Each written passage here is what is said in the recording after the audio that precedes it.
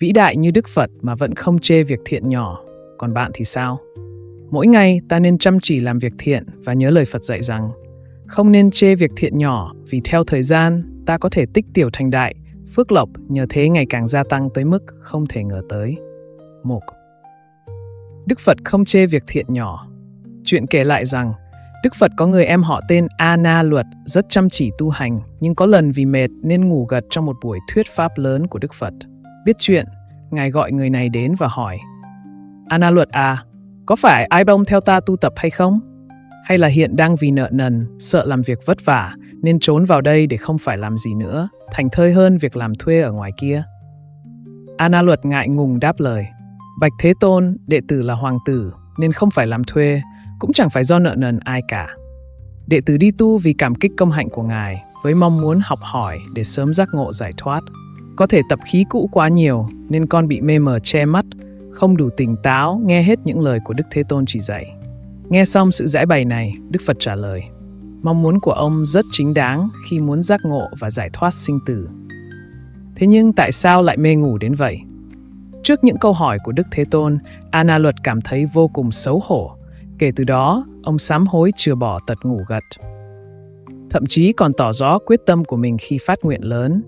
Nếu đời này không thành đạo, thì tôi không nhắm mắt.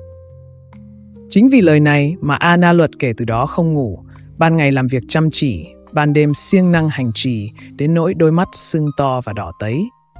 Các thầy thuốc khuyên ông ngủ lại bình thường sẽ khỏi bệnh, nhưng Ana Luật cho rằng bản thân nói được phải làm được – Đức Phật nghe chuyện đến khuyên can, nhưng ông vẫn không ngủ.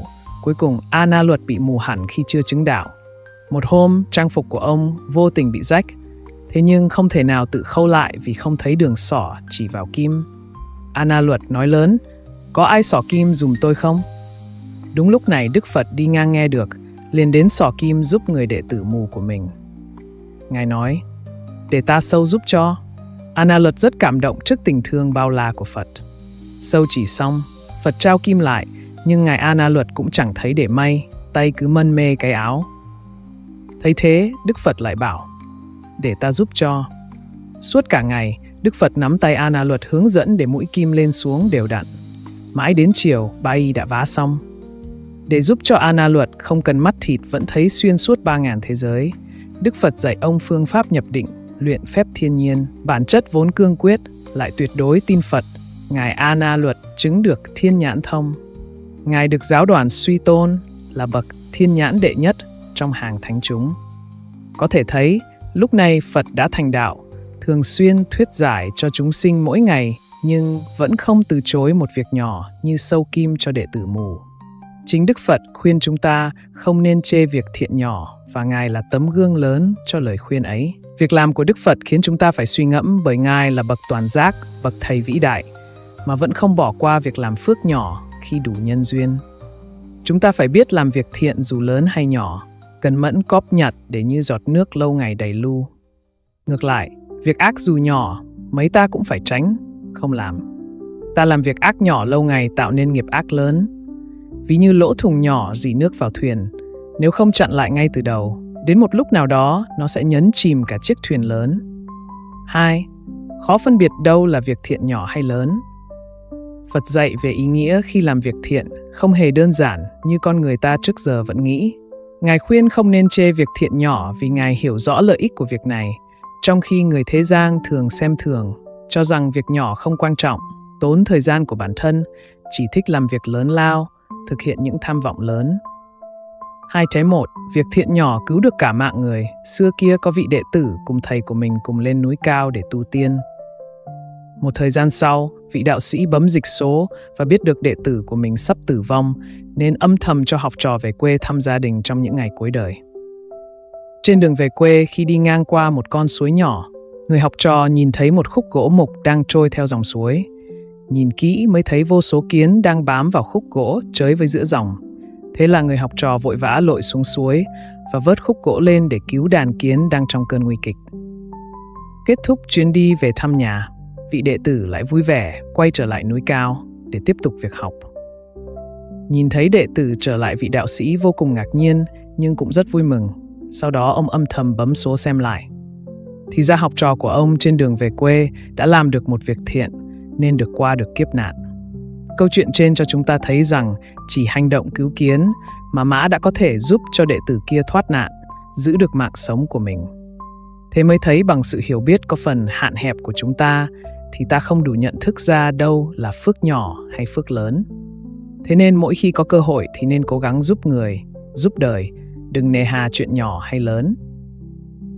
Trong cuộc sống, có một số việc mà ta cho là rất nhỏ như nhặt cho ai đó một món đồ, giúp người già qua đường, cho ai đó một bữa ăn. Nhưng nó thật ra lại rất có ý nghĩa với những người đang cần giúp đỡ. Điều đó giúp ta nhận ra rằng mỗi việc làm tốt đều có ý nghĩa, không nên phân biệt là nhỏ hay lớn vì chúng đều góp phần làm cuộc sống tốt đẹp hơn. 2 tránh 2. Hãy cứ chăm chỉ tạo phước lành, đừng bỏ qua bất kỳ việc thiện nào mà bạn có thể, cũng như đừng bao giờ nghĩ đến sẽ làm bất kỳ một việc ác nào. Dù bản thân đang ở trong hoàn cảnh nào, cũng hãy cố gắng tìm cách tạo phước lành đến cho mọi người. Nếu phước báo đang trổ mà không chịu tích phước, lãng phí chúng một cách vô ích, không tìm cách gia tăng thêm thì chắc chắn hết phước, họa tới. Tâm tịnh là đức, lợi sanh là phước. Muốn có đủ phước đức tự thân, quý vị phải nghiêm cẩn tu tập. Nếu đã hết phước báo thì càng phải chăm chỉ tạo phước để thoát khỏi khó khăn khổ ải. Hãy nhớ, lá lành đùm lá rách, lá rách ít đùm lá rách nhiều. Đối với người làm việc thiện với tâm cao thượng, sự bền bỉ, kiên trì trải qua thời gian lâu xa, không gián đoạn, tích lũy được nhiều phước báo, công đức để một ngày kia thành tựu. Phật chỉ cho ta thấy muốn trở thành người trí phải huân tu các việc thiện. Và Ngài so sánh việc thiện ví như giọt nước, còn cái bình giống như cái tâm của chúng ta. Nước cứ từng giọt, từng giọt chảy vào bình.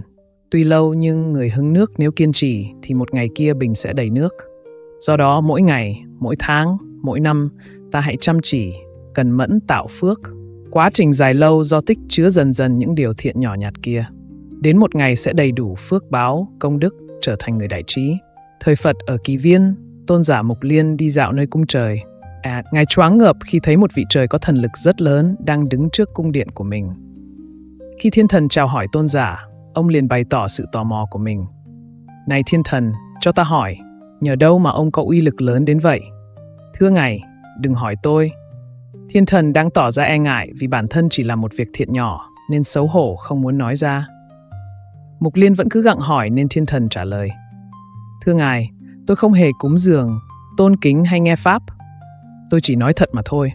Sau đó, tôn giả mang sự tò mò của mình đến cung điện khác để hỏi một vài thiên nữ khác. Một người bày tỏ. Thưa ngài, tôi không bố thí hay làm việc về tôn giáo, nhưng vào thời Phật Ca Diếp, tôi là đầy tớ của một ông chủ tàn bạo hà khắc. Ông ta chỉ có đánh đập.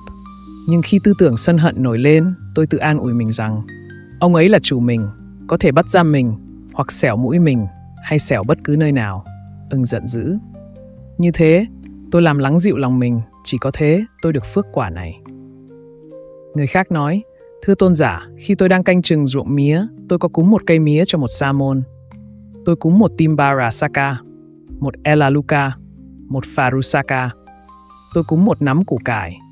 Họ đều cho rằng bản thân chỉ làm những việc nhỏ ấy mà vô tình đạt được quả phước. Khi trở về nhà, tôn giả mang nghi vấn của bản thân để hỏi Đức Phật.